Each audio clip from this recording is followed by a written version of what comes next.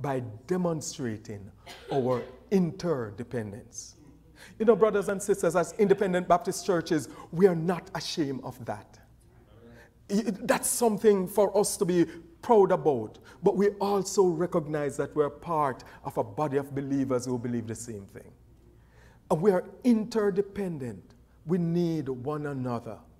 God intended us to work together. And, and, and this is what you do when you do missions. You partner with brothers and sisters all across the road, all over the world. When we get to heaven, it's going to be a hallelujah time as, as we get together and glory in God. So why not let's just start it here? Let's support one another. And thank you for standing by us and the many missionaries that you have stood by for all these years. You know, we, we also, I also am involved in something else. I serve at the Fairview Baptist Bible College in Jamaica. I've been serving there for the past 10 years as an instructor at the school, but also I served for a short time as, as the academic dean. But that was just getting just too much for me because my major responsibility, I believe, is towards our local church. And so I had to cut back, but I still serve at the Bible College as an instructor. My third uh, ministry that I want to share with you about is our, our local church. And what better way to do that more than to just let the slide run and I'll walk you through some of the things here. You know, when I came here first, many years ago, we met in a termite infested little room. There were just a handful of people there. When it rained on the outside, it poured on the inside. You remember that story I told you? You know, because that's, that's a reality. That's how it was. We came, and uh, some of you guys from the US here stood beside us. But above all, God was with us, and He still is. You know, the Lord had helped us to be able, with the help of missionaries and friends, to build um, a building where we do worship, the church worship. Darlington community, approximately 2,700 people uh, live in its environs. The community of Darlington is a hub for a number of smaller communities. It's Darlington and its environs. There are schools that I minister in, and uh, you know, women and children account for approximately 85 um, percent of those who attend. You need to pray for men. Stand with us.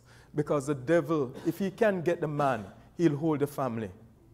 But if we can focus and pray, you know, deliberately and purposefully that God save men, pray for us. Because this is where our battle also is. You know, the gospel has the ability to transcend culture.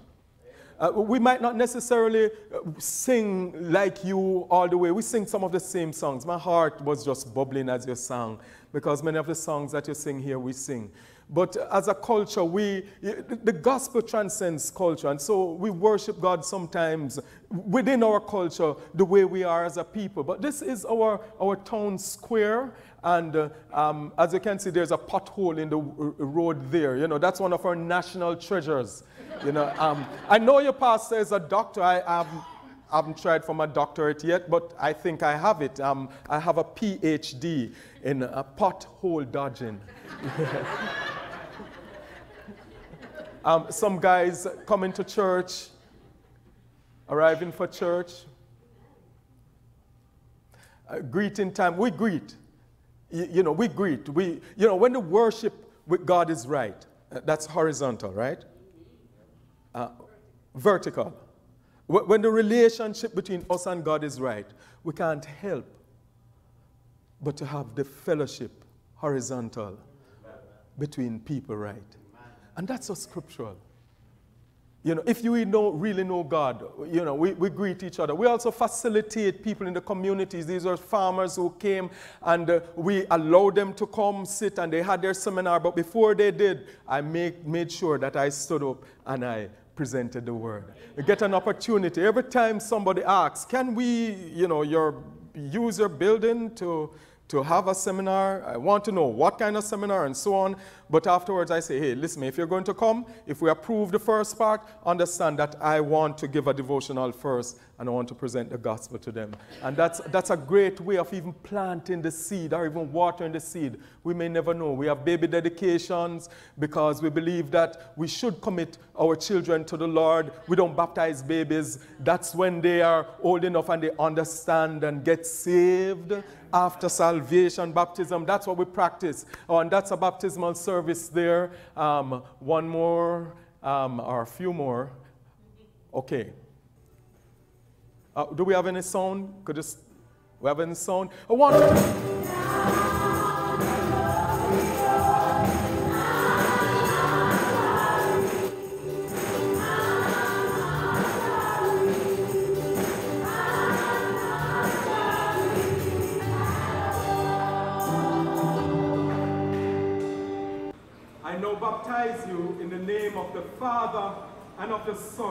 And of the Holy Spirit.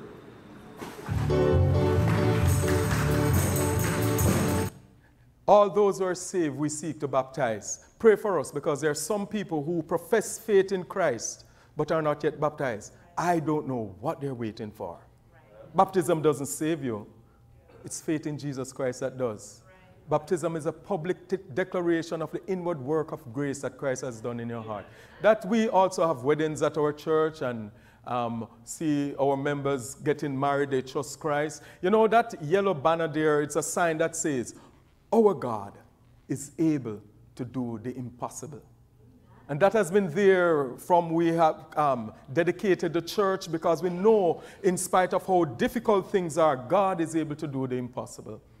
Um, our kiddies church, children um, at one of our classes, Sunday school classes, some of our young people, um, these are just classes that we have.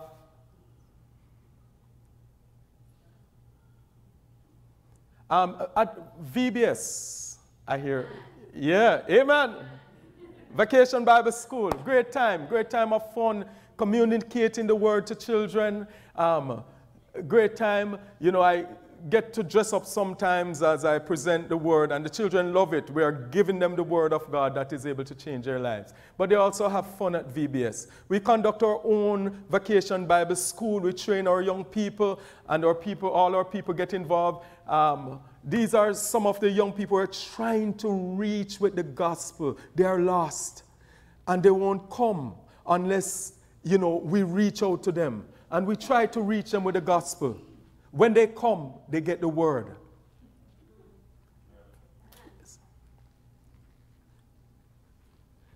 Yes, some more of our young people here. Some of these youngsters' faces of some of the children. I go into schools and I do ministry, devotional exercises. And there are a few pictures with those. There are different schools that I've been to. Um, some of our young people getting excited at a youth fellowship outdoors, ready to roll. You know, there's uh, great things that God can do with young people as we try to reach them with the gospel. Uh, some of our women, it's amazing how God saves people. But when you get saved, we want to ensure that we get you plugged in to do something. You know, it's not just about being saved, sitting and getting sore, but being saved and getting involved, serving. Um, Operation Christmas Tree received some gifts, and some of these kids have never received, you know, a box of gift for themselves. So we appreciate the, the donation from Operation Christmas Tree, and we're able to um, see many of these children go home happy, but we give them the gospel first.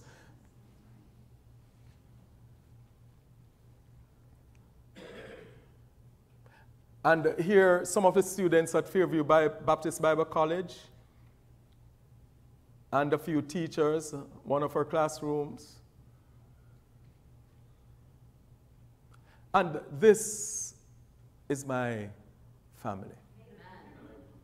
My wife and our three children. When I came here, our first daughter was just a baby, um, but since then we have grown a little. and I just want to end with this play. Will it play? All right, if it doesn't play, that's fine. Oh,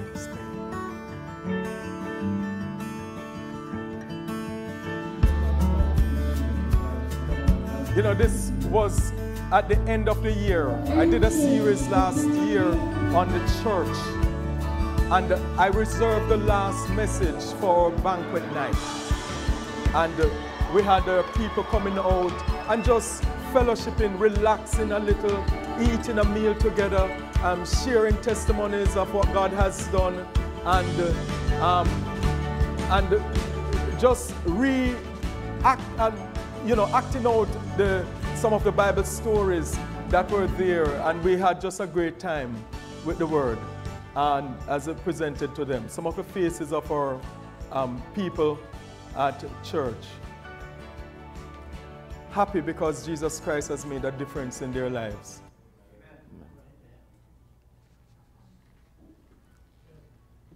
Okay. Thank you for standing with us. Stand, thank you for you know, just being there um, praying us through. Amen? Amen. Amen. Amen. Uh, do I preach now? Or pastor is coming back? No, you said you could start. I can start. All right. Okay.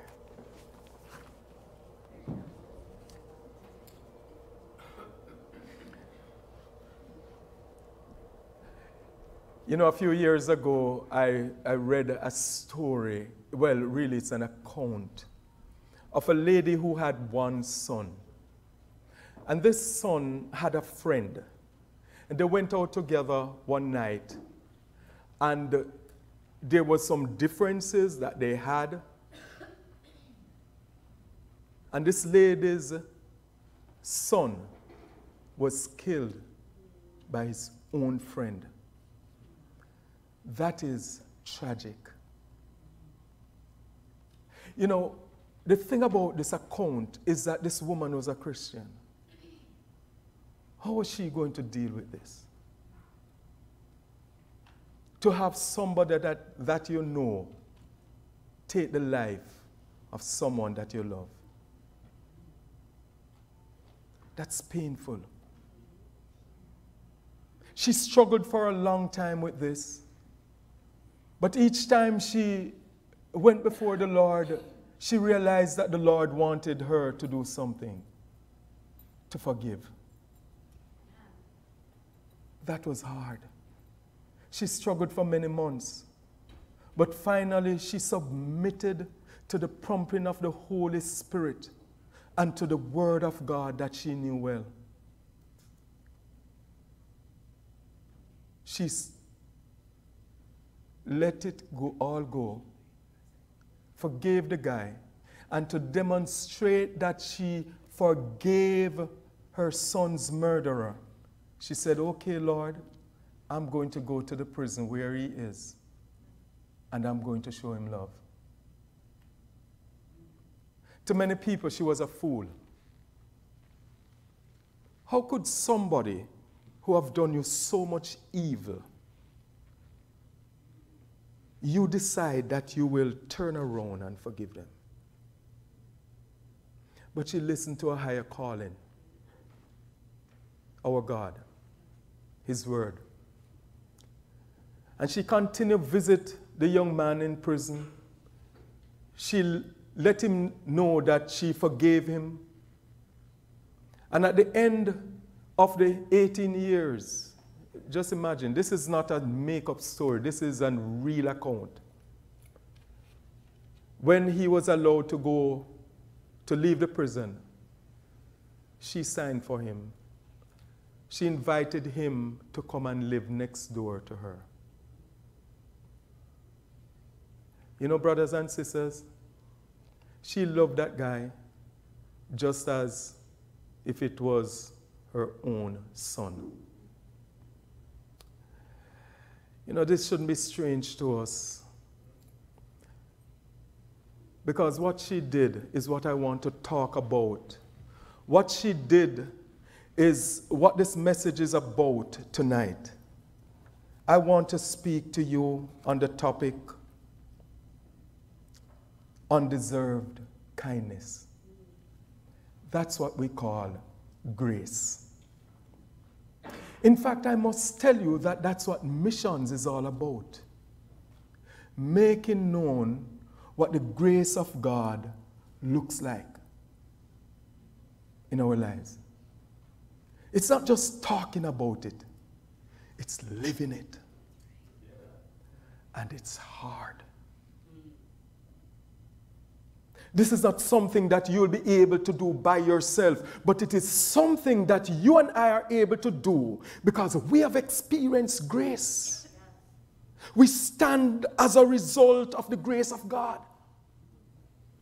And having experienced grace, we are the best ones to show it.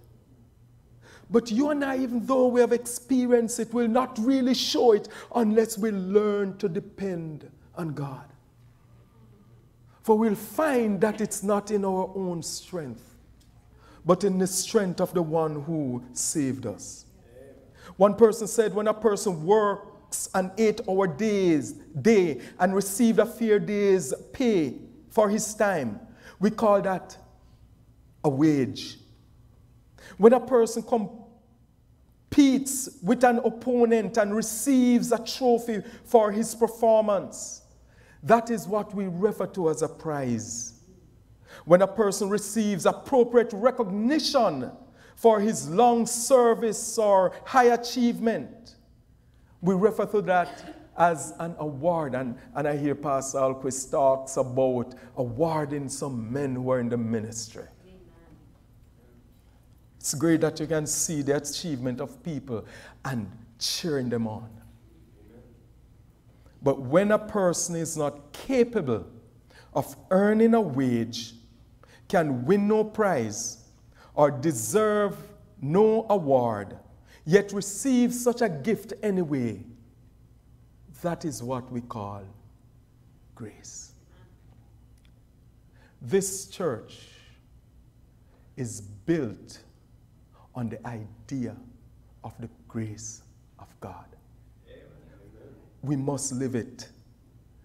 And that's a good picture of God's unmerited favor, undeserved favor. That's what we mean when we talk about grace. I want you to hasten on and turn your Bibles with me to an Old Testament book where this truth is there staring us in the face. Deuteronomy chapter 9. And for the sake of time, we won't read all of it at once. But uh, we'll, we'll go through, uh, just I would like you to get a, a good picture of what is there, but um, for the sake of time, we'll, we'll just read. First, we'll read the first three verses, and then we'll work ourselves through um, this passage of Scripture. Um, Deuteronomy chapter 9, verse, let's read from verse 1 to 3 first. Reading. Hear, O Israel, thou art to pass over Jordan this day to go in to possess nations greater and mightier than thyself, cities great and fenced up to heaven, a people great and tall, and children of the Anakims, whom thou knowest, and of whom thou hast heard say, Who can stand before the children of Anak? Understand, therefore, this day that the Lord thy God is he which goeth over before thee as a consuming fire. He will destroy them, and he shall bring them down before thy face. So shalt thou drive them out and destroy them quickly. As the Lord had said unto thee. Let us pray. Father, in the name of Jesus, we want to thank you for you, the reading of your word and what pertains in the rest of this passage. Thank you, Lord, for the favor that you have given to us that we do not deserve. Thank you for your word that teaches us and corrects us and guides us. I pray even now that you empower me with the power of your Holy Spirit that I will speak with clarity. But I pray also, Lord, that you by your Spirit will come and move among us as your word um, is explained and, and outlined, that you will move by way of your word and speak to the hearts, address the issues, address the needs in the lives of your people, cause that they will be edified. I pray, oh God, if there are any here who are not saved, that under the sound of your word, your Holy Spirit will speak to them and draw them to Himself for salvation. We wait upon you, and I need your help, Lord, to speak your word. In Jesus' name, amen. Undeserved kindness. That's God's grace. You know, friends, sometimes we fool ourselves about why we stand, why we achieve, why we're still here and doing well, why we're believers and Christians and standing. Sometimes we can fool ourselves. But I want to say, don't fool yourself. You stand because of the grace of God. You and I stand because of the grace of God. I want you to fully understand what the grace of God has brought to undeserved sinners and observe quickly three reasons why we shouldn't fool ourselves. The first reason why you should not fool yourselves is because the scripture outlines to us that victories and, and achievements come from God. Through his undeserved kindness. Deuteronomy 9, verse 1 to 3 the first three verses of Deuteronomy chapter 9 gives an overview that the victories and achievements that we may or will experience in, in, in, in, in, in our lives, that they come from God. However, he, God often includes you and I in the, or you and me in the outworking of such victories and achievement. It's not because we are good, so good. But it's all because God, sovereign God, allows us because He could have used others. Amen? amen. Do you say amen here still? Amen. amen. If it's true, say amen. Amen. amen. amen. So this truth is, truth is borne out in Deuteronomy 9, verse 1 and 2, when it shows us that great challenges will stand in the way of God's people. That's what is outlined in verse 1 and 2. God says you must overcome these challenges to become victorious or to achieve. He said, Hey, listen me, Israel, you are going to pass over Jordan. That's a challenge. Jordan stood in their way to go into the promised land. The promised land speaks of, of the place of victory. And they had walked and wandered in the wilderness for 40 years, and they were now on the brink of the, the promised land, just about to go in. But there was an obstacle there before them. There was a challenge in their way. It was Jordan.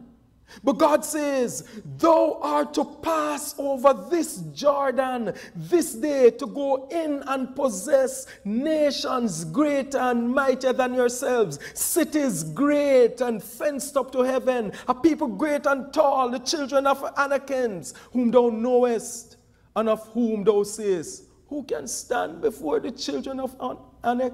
Notice what God says. He says, Understand therefore this day that the Lord, thy God is he which goeth over before thee. As a consuming fire, he shall destroy them. He shall bring them down before thy face. He'll drive them out for you. Great challenges stand before God's people. Israel had to overcome the challenge of going over Jordan, even though God was going to do a thing for them. For, for them. You and I will have to make the effort. You and I will have to put you and I will have to put the effort in what God has called us to do. The challenge may be before us, but yet He has called us because it's possible, for He's there, He's on our side. We had a challenge before us in Darlington many years ago to build a building um, to house the church. To do our ministry, to work through, to reach our community. Because we are despised. We're in a little old place, an old building, termite infested. When it rained on the outside, it, it, it flowed on the inside. And that was a challenge, but by faith, we took that step of faith and we went ahead and we saw God worked great things for us. So we have that sign in our church that says, Our God is able to do the impossible. Constant reminder. The first challenge to pass over Jordan. The second challenge in verse 1 was to take over cities and nations greater than Israel, the Israelites were. The third challenge God said they would face is that they would have to overthrow the giants. Brothers and sisters at Grace of Calvary, there is no victory without a struggle. There's no victory without a battle. You want a Christianity that you will sit at ease in Zion and, and grow in grace? You're going to have some struggles. No ease in Zion. But we know we have God with us and He'll help us. But there was also great challenges can be overcome with God's help, and that is outlined in verse 3. God's people must remember that when whatever God purpose or promise, He will perform. God said, Understand therefore this day that the Lord thy God is He which goeth over before thee. He's going before you. Whatever He promises, He will perform. People must understand that they achieve only because the Lord allowed them to. Psalm 75, verse 5 to 7, supports his first reason that victories and achievement come from God through his undeserved kindness when it says, Lift not up your horn on high Speak not with a stiff neck, for promotion cometh neither from the east, nor from the west, nor from the south, but God is a judge. He put it down one and set it up another. Listen to Psalm 127, verse 1, which also says, Except the Lord build a house, they labor in vain that build it. Except the Lord keep the city, the watchman waketh but in vain. And again, Daniel chapter 2, verse 21 tell, declares this truth about God when it says, And he changeth the times and the seasons. He removeth kings and he setteth up kings. He giveth wisdom, wisdom to the wise and knowledge to them that know understanding. It's all God. So, friends, it is the divine work of God when you and I are able to accomplish or experience any great achievement or victories in our lives, in the ministry, as we have done in Darlington, reaching out and still reaching out. There's a generation that we must reach. It's a younger generation, and I must say that I hardly know them. We've reached some of the older people, but what we find is that the younger generation, they're set in their ways. They are far different from the generation that was before them. But we have God.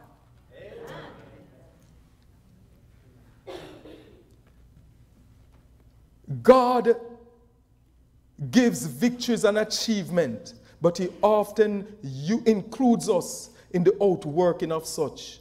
So don't be fooled or don't fool yourself about your success if you have had any. Understand that it's because of God's undeserved kindness. Secondly, the second reason why you should not fool yourself is because God can fulfill his plans without you, but for his undeserved kindness. Deuteronomy chapter 9, verse 4 and 5 tells us God says, Speak not thou in thine heart, after that the Lord thy God has cast them out from before thee, saying, For my righteousness the Lord has brought me into, into possess this land. But it's for the wickedness of these nations the Lord has drive them out from before thee. Not for the, thy righteousness, nor for thy the uprightness of thine heart dost thou go to possess, in to possess their lands. But for the wickedness of these nations, the Lord thy God doth drive them out from before thee, and that he may perform the word which the Lord sware unto thy fathers, Abram, Isaac, and Joseph.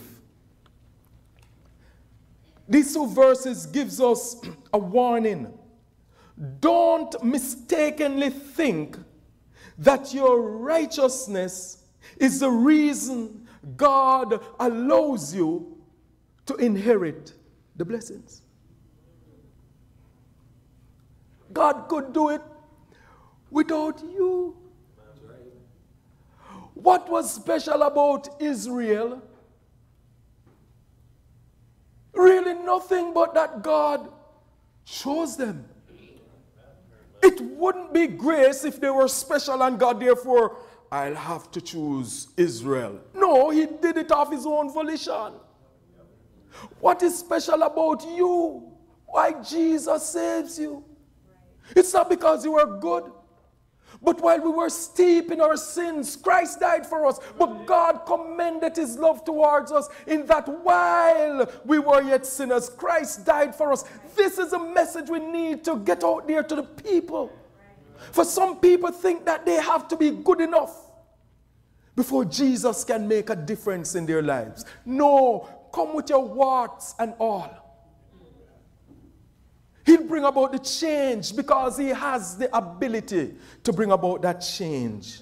It was because it was because of the wickedness of others verse 4 says. It was because God was faithful to his promise. In verse 5, God says, Because I made some promises to Abraham and to Isaac, I'm going to be faithful and I'm going to keep my end of the bargain. That's why you have succeeded. You know, there's something that is, is really amazing about grace, but there's something that is frightening also about the people who have received grace. We receive the grace of God, but yet we are not willing to give it many times. We, we are like takers. And we forget that we were beggars. I praise God that when I begged Him for salvation, He was ready to give it to me. It wasn't because I was deserving. I was needy. Jesus said, I came not to call the righteous, but sinners to repentance. Amen. They don't deserve the repentance, but that's grace. Undeserved favor. I am lavishing on them my mercy, my goodness, my forgiveness, my help. I'm pouring out on them, I'm pouring into them because I love them. That's the grace of God. The third reason why we should not fool ourselves is because God sees you as you really are, Amen. not as you think you are.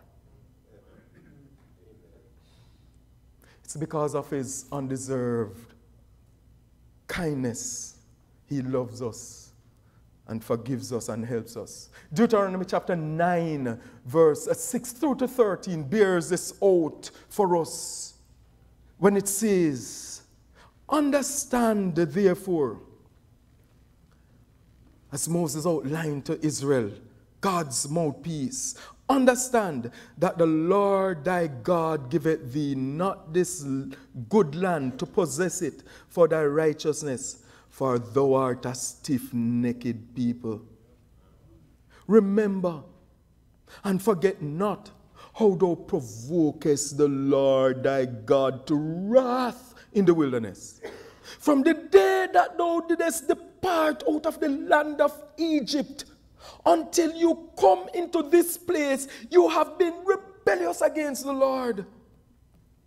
Also in Horeb, you provoked the Lord to wrath, so that the Lord was angry with you to have destroyed you. When I was gone up into the mount to receive the tablets of stone, Moses said, Even the tablets of the covenant which the Lord made with you.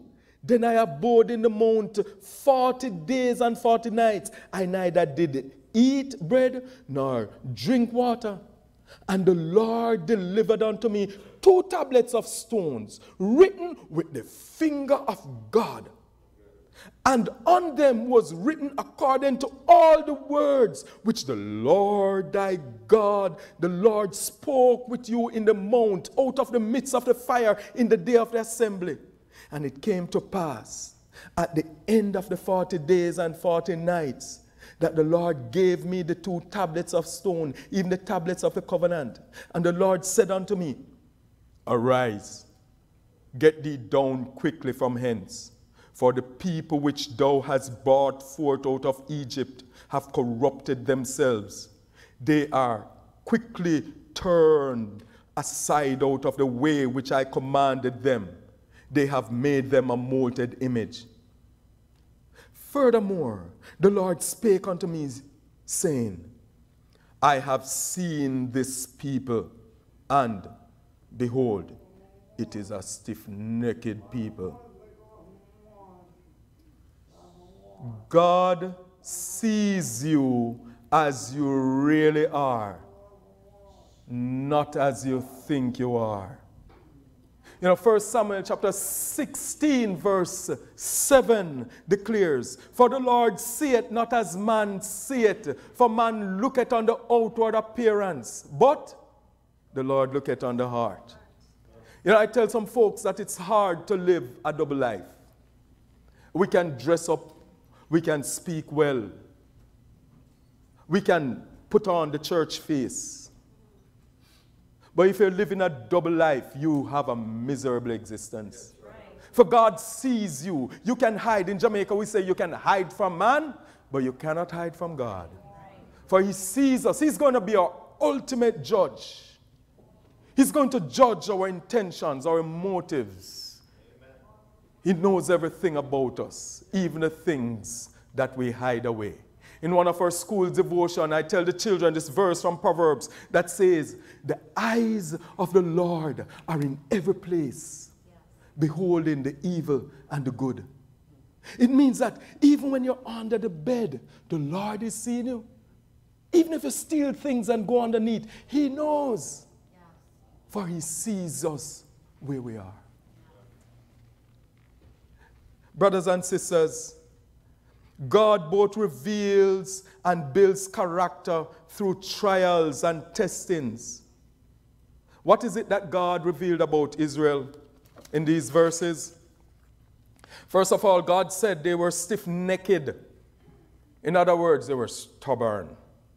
Verse 6 says it will understand that the Lord thy God has given thee this good land. For though, even though thou art a stiff necked people, that's not a nice testimony to have.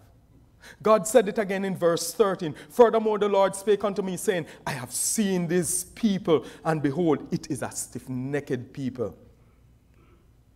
These verses outline that they were proud, stiff necked, proud, stubborn, bent to do what they wanted to do.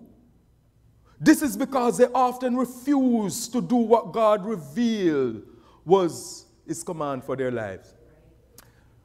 Pastor, you can talk, but you won't move me. We're only mouthpieces.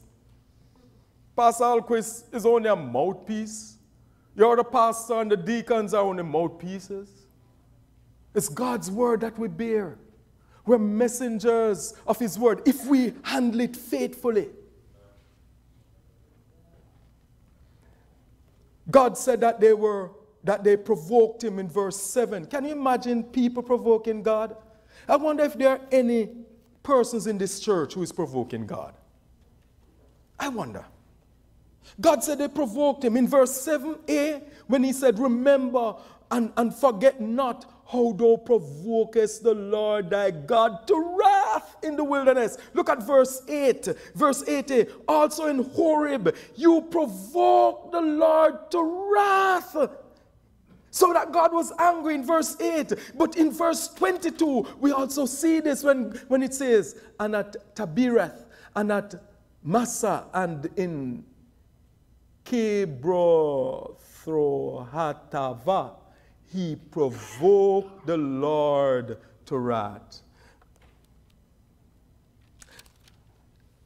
They provoked, they provoked God.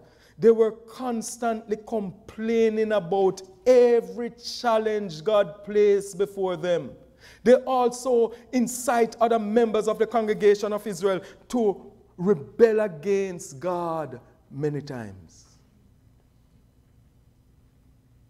You know, we need to understand what God is doing and go in the direction that He's going instead of standing against Him. You know, sometimes what God is doing may cost you your pride. For, for this whole walk and this whole service that we're called to is, is one where God requires us to learn to be humble. It, it, it's, it's about serving one another helping one another. Jesus demonstrated that when he got a, a, basin of water after the disciples came in and, and it was time to wash the feet. There were no servants there to wash anybody's feet. All the disciples went and sat down. They wanted to be served. Jesus girded himself with, with a towel, got a basin, and started to wash his disciples' feet. What a lesson. I've been your master and Lord is showing you what service is about. It's not about for men to say, oh, you're a great leader. Greatness in God's eyes and in the kingdom of God comes through servantness, through humility and, and service to others. And that's what God wants for us. So sometimes the challenges that God places before us is to help to mold us to become more like His Son Jesus Christ. And we rebel against it. Understand, God sees you as you really are, not as you think you are. God sees the Israel were rebellious. And the accounts in these verses highlighted, um, highlights and shows us that they were rebellious because they fought against what God wanted for them. There are a lot of really rebellious people out there who are resisting the gospel. But as servants of God, we can't give up. You, as a church, continue to stand with the servants of God as they go with the gospel. That's, that's what it means to, to beam your light beyond your own shores. Where you can't go, your, your finances may be able to go, go. To beam your light beyond your shores. You know, God is a faithful God. He'll reward us when we stand before Him. Amen. Amen. And those who misuse God's funds and the monies that his people faithfully give, God will reward them accordingly. None of us gets away, for he sees us as we really are, not as we think we are. In conclusion, the question is, how does God sees you? And what does he say about you? Mm. You know, do you understand that it's the grace of God why you stand? Observe that it's because of God's undeserved kindness that Israel, and by extension, you and I, can achieve or be victorious in our lives. We neither have the strength, ability, or opportunity to do well without God sustaining and helping us. If He does not keep us safe, we are doomed to failure. If He does not allow us the opportunity, we will never get ahead. He's a sovereign God. We praise God for the statement from Jeremiah in Lamentation chapter 3, verse 22 and 23. If it, it is of the Lord's mercies that we are not consumed. Praise God. Amen. Amen. Uh, uh, Thank you, Lord. because if I was, I'm your preacher tonight, right? But if I was dependent on my goodness and my faithfulness to God, I'd, sorry, Pastor, but I dare not stand. I stand on account of the grace of God. And this is a grace that will eh, eh, that we present to people what God is able to do. And if we can experience such grace, why not give it? It's not ours, only ours to give, to let it be known to others that God is able. Because of God's undeserved kindness or His grace, this is why we can get ahead. This is the same undeserved kindness that is reserved for sinners who will come to know the salvation. This is what we preach. This is what we teach. This is what we seek to live. Like that woman who lived what she believed. Let us pray. Thank you, Lord, for your word. I pray the intent for, for which you have placed this on my heart, that, Lord, your purpose will be achieved.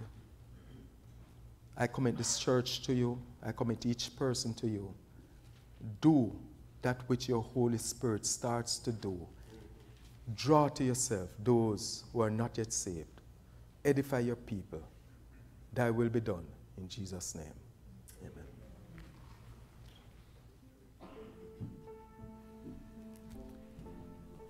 Amen. Let's stand together. We're going to turn to number 493. And it's a good hymn for this particular message. I'll live for Him. What is it that God's trying to do in your life? What changes is He trying to make? Where does He want to use you? Why don't you come tonight and come before the Lord and say, Lord, I, I needed to hear some of that, but I need to do and be some of that. You feel free to come. If you have any questions about going to heaven, you're not sure you're saved, tonight's the night to find out. Tonight's the night to nail it down. And why don't you come and meet me at the front? We'd be glad to help you with that. As we sing, number 493, uh, you respond as.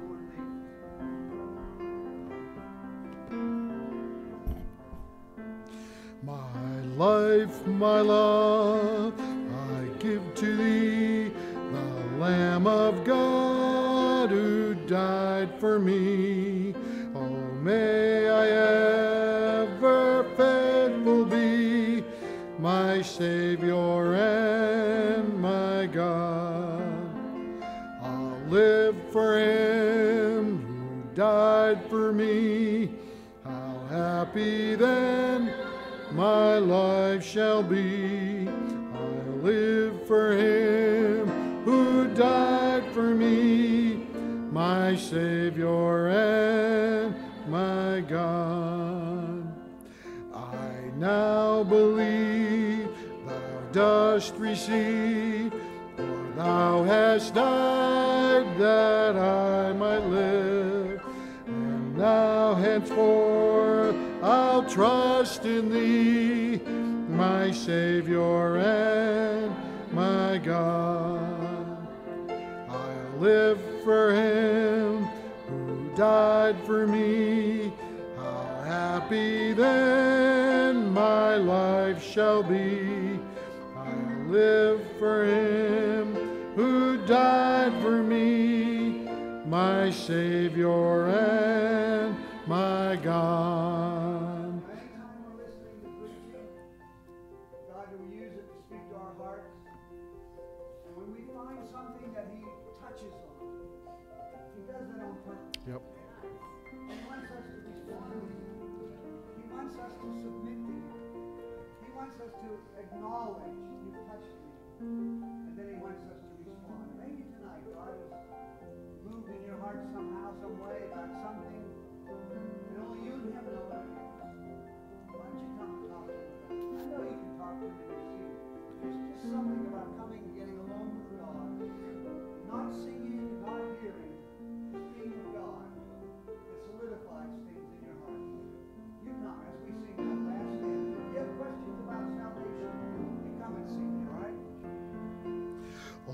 thou who died on Calvary to save my soul and make me free.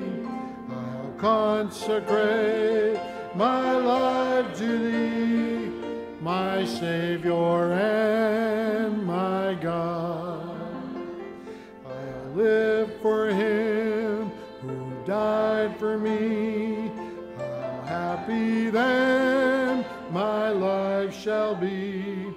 I'll live for him who died for me, my Savior and my God. Amen. I just want to share one thing. As we read this verse, it says, Understand therefore this day that the Lord thy God is he which goeth over before thee. So he went over the Jordan before the people of Israel. We all know the story of this. this is, the, the Jordan River was overflowed its banks. And all of Israel standing saying, How are we going to get over there? There's no bridge, no boats. How are we going to do this? And God said, Well, you know what? If you'll go forward, put the priests will take the Ark of the Covenant, and as soon as they go and their feet touch the water, it'll open up. But you know what? It wasn't the feet of the priests that opened the water. It was God going before them. And when he walked into that water, that water just went, right? The water got out of God's way. And he walked through, and that water just got out of the way and let all the people through. So sometimes you're going to be standing there on the brink of that water saying, I don't know how, how are we going to do this? If God's going in front of you, everything will get out of the way.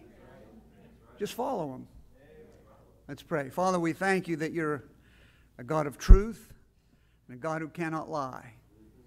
We thank you, Lord, that nothing is impossible with you and all things are possible with you.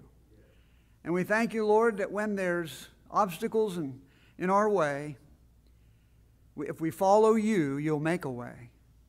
And that, Lord, everything will get out of your way when you're leading. Help us to trust you. Help us to believe you. Help us to put our feet forward in response to your promise and to watch you do great and mighty things which we know not. I pray you'd help us to be not only the receivers of grace, as we heard tonight, but also the granters of grace to those around us, that, Father, they might see Jesus in us and experience him in our hand. Lord, we just love you, praise you, and thank you for being so kind and gracious to us. We'll give you all the praise in Jesus' name. Amen. All right, turn your hymn books. We're going to sing number 796, one verse. Oh, what a wonderful, wonderful day, day I will never forget. After I'd wandered in darkness away, Jesus my Savior I met. Amen. Oh, what a tender, compassionate friend. He met the need of my heart. Shadows dispelling with joy, I am telling, He made the darkness depart. Sing out. Heaven